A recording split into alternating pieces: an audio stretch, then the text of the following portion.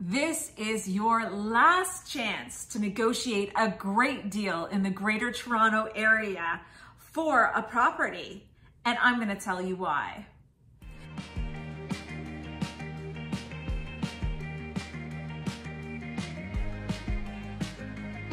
This is Nicole Forrester, real estate broker with eXp. Welcome to my August 2024 real estate snapshot for the Greater Toronto Area. And I'm going to let you know why this is absolutely the last chance for you to negotiate as a buyer a really great deal and property in the Greater Toronto Area. Sales were up year over year in July 2024 by 3.3%. We saw the Bank of Canada bring down their rate again in July for a second time, and we have projections that they're going to do so for the rest of the year and into 2025. The average price of a home year over year was down marginally by 0.9% to a million 106. The average price of a detached home was down just slightly by 0.1% to a million four hundred and twenty-five thousand.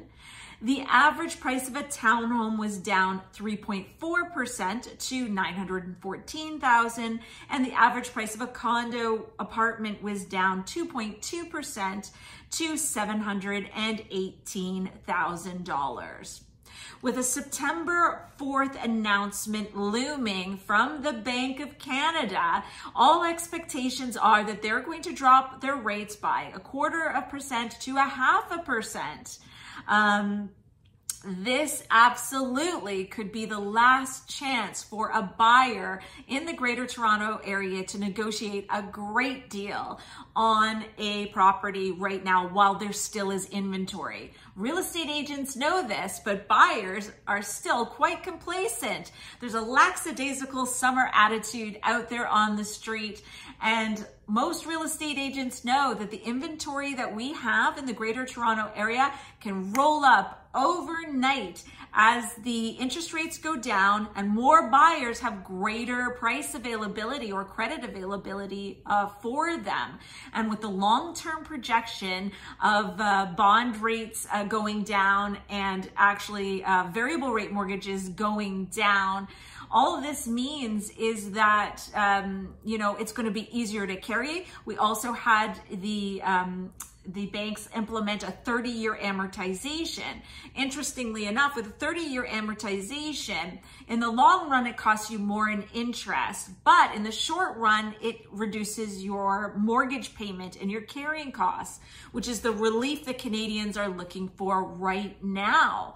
Um, you know, the way to offset that, and I saw this fantastic financial piece, is that if you take a 30 year amortization, you can um, save up an extra payment for the year and make that payment directly towards the interest that'll offset the long, the extra interest costs of taking the amortization out.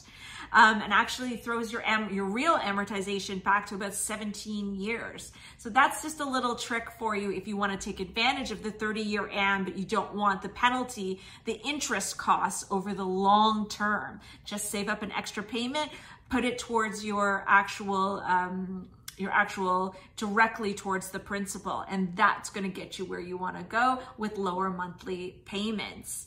So you know, we have in the condo market something that's happening differently than what's happening in the housing market, which is that because of what's going on with landlords and tenants in Ontario and um, a lot of pre construction condos coming up now and closing, we're seeing that the condo market is quite flooded with um, people who want to sell. Uh, we might see that for some period of time. And that has more to do with um, the fact that the landlord tenant uh, laws in Ontario are not favoring property investors. So a lot of property investors are taking their business elsewhere outside of Ontario. And we're seeing that in the very specific condo apartment market. But it's not unusual for condo apartments to be running at a different trajectory than the actual detached housing market. So that also supports the fact that we are looking at and we're poised to really have a run up in prices um, on our in our detached market. So if you are thinking of buying in the next uh, six months, year, um, or even year and a half, I suggest that you get out there right now. And guess what else? You can lock in the lower rate by the time you close. So you can qualify at the current um, rate with your mortgage broker or your bank. And once you've secured your deal and you've locked in your price, which is probably the lowest it's going to be in a long period of time ahead, then you close 30 to 60 days, your bank or your mortgage broker is going to guarantee that you get that lower rate um, as the rate goes down over the next little while. So you get the best of both worlds. Reach out to me directly at 416-909-2389 um, or DM me on social media platforms under Nicole Forrester Real Estate Broker. And I'd be happy to give you a list of properties that are not set up for bidding wars right now that are great value buys in the greater Toronto area area that just won't be around for much longer, reach out to me.